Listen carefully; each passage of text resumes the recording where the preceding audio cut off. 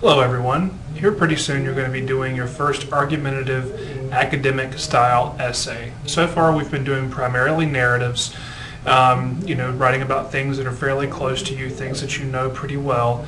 Um, but before too long you're going to be writing those academic essays that you probably hated writing in high school, but hopefully you're going to enjoy writing a little bit more in college. So I'm going to talk to you a little bit about invention strategies. How do you go from uh, a basic or really vague idea to something that constitutes a thesis or an argument? So let's talk about the invention phase first. Uh, typically, uh, most people like to devise a plan first. Uh, some people will schedule their writing process. You know, they'll set themselves uh, deadlines for when they want to have rough drafts done. Um, and of course, you do have somewhat of a schedule imposed on you when you're writing for a class because you do have deadlines. Um, but nonetheless, some people like to even break that uh, schedule down even further and give themselves specific deadlines for when they want to have a thesis done, when they want to have the first couple of pages done, etc.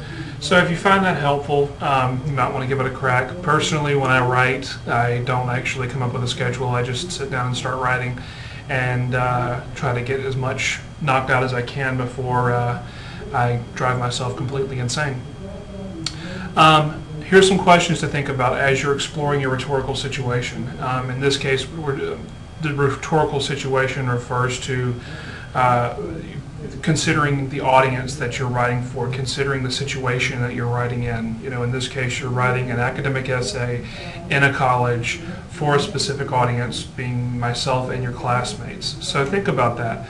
Uh, what is your purpose? How is the purpose for writing going to affect your topic and going to affect the type of writing that you do? Read over the assignment for the uh, academic papers really well, read over the prompts and really think about what is the purpose of this assignment? What am I trying to accomplish? Who is your audience? Um, in this case, you're writing primarily for your classmates and for myself. And I don't want you to forget that you are writing for your classmates as well as me. So what kinds of things do you need to consider about your audience that are going to affect uh, the way that you write and the way that you structure your paper? And what genre am I using? In this case, you're writing academic. Um, as you move on into the business or uh, professional world, the genre will change and the wording might change and the structure might change. What sort of research will you need to conduct? The final papers in this class, all of your academic essays that you write are going to require some level of research. For your profile paper, you had to do minimal amount of research, including some interviews.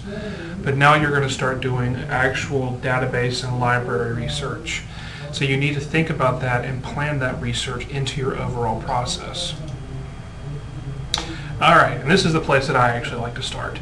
Most of the time when I have to write an essay uh, for a class or for a work assignment or something along those lines, I actually just like to sit down and start writing.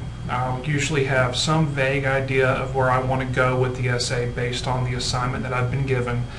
But what I'll do is I'll take that vague idea or those vague ideas and I'll just start writing um, with no expectation of taking what I'm writing and turning it in for anything. It's just for my purposes. So, you know, some, some ideas here for free writing. Just sit down, write for five or ten minutes. Um, after you're done writing, look back at what you've written and really think about the topic that's come out of that writing. Um, sometimes brainstorming on paper can really help you sort of consolidate some of your ideas and really think through some of your ideas. Um, when you're done with that, just you know keep working. These are the things that become your drafts.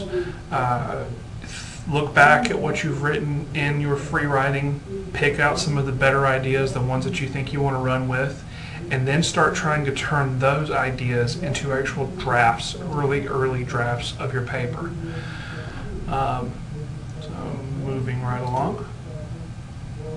When you're brainstorming, don't stop, don't edit. Um, when you're brainstorming, it's basically the same thing as free writing. I, I, actually do the same. I actually do those two things together. Brainstorming and free writing for me are the same thing because when I brainstorm, I free write. Um, but one thing that you have to get used to when you're brainstorming and you're free writing is you don't stop. You don't edit. You don't think, well, did what I just write make any sense to anyone besides myself? It doesn't matter. What you're trying to do is get ideas out. You're trying to get something on paper that's going to help you think through the topic. Um, when you're looking back over it, note keywords and short phrases and list them under your subject. These are the ideas that are surfacing in your brain. These are the things that are sort of floating up, your subconscious is picking out, and eventually, often, these are the things that are going to constitute uh, the, the main crux of your thesis, the main crux of your argument. Think about your topic uh, and keep your list going uh, for your time limit if you decide to set one. Just keep writing.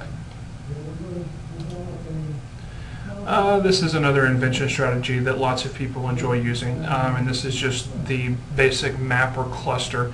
Um, you start with the sort of rough idea of what you want to write about, um, and then you sort of branch out into all of the related concepts and ideas that are, that uh, feed back into that central idea. Um, so, for example, um, in this uh, cluster, we have the word rhetoric as being the start, um, rhetoric being uh, the art of argumentation, uh, the art of communication. Um, and you see here we have all of the different ideas that feed into rhetoric, or at least some of the different ideas that feed into rhetoric being connected here via bubbles. So communication, persuasion, because argumentation and persuasion go hand in hand, politics, uh, modern uses, and then history, etc., etc. And then when you're done with that, you sort of look back over it and you think about the connections between those ideas. Um, obviously, if you're writing uh, an argumentative essay for an academic class, it's probably going to be a little more complicated than this. This is a really simple, uh, really simple example. But think about what are the connections between those ideas. And those connections are going to help you start structuring your actual paper, structuring your actual argument. Um, so, you know, once you've got the cluster, it's just like with free writing. You sort of take a step back and you look at it and you say, what have I got here and what can I make out of it? Writing, in a lot of ways, is just like every other art form. Um, you know, if you've, if, uh, say, for example, you have a sculptor, he's looking at a giant piece of rock. And a lot of times a sculptor will look at a piece of rock and just sort of step back and think to themselves, okay, what can this rock become? The rock in and of itself isn't necessarily a work of art. So that's what you're doing with these rough drafts or with these um, map cluster activities is you're creating that piece of rock and then you're taking a step back and you're looking at it and saying to yourself, where can I go with this? Outlines. This is another way that a lot of people like to um, sort of start planning out academic essays.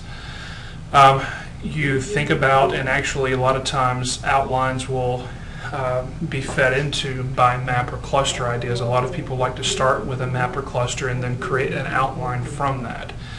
Um, make the basic unstructured list of your major and minor topics. So the introduction is going to be what is my overall thesis statement, what is my overall thesis argument, and then what are those things that connect to that argument that help defend it? And you can look back at your out, or I'm sorry, you can look back at your cluster and look at some of those other major and minor ideas that feed into it and decide what do I need to discuss in order to defend that central thesis. And I'm going to say this now, and you're going to hear me repeat this um, in several other videos probably. The thesis statement or the thesis question is what an academic essay is all about.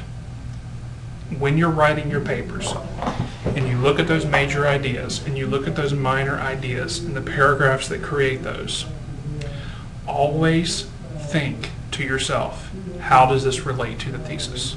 If it doesn't relate to the thesis, it doesn't belong in the paper.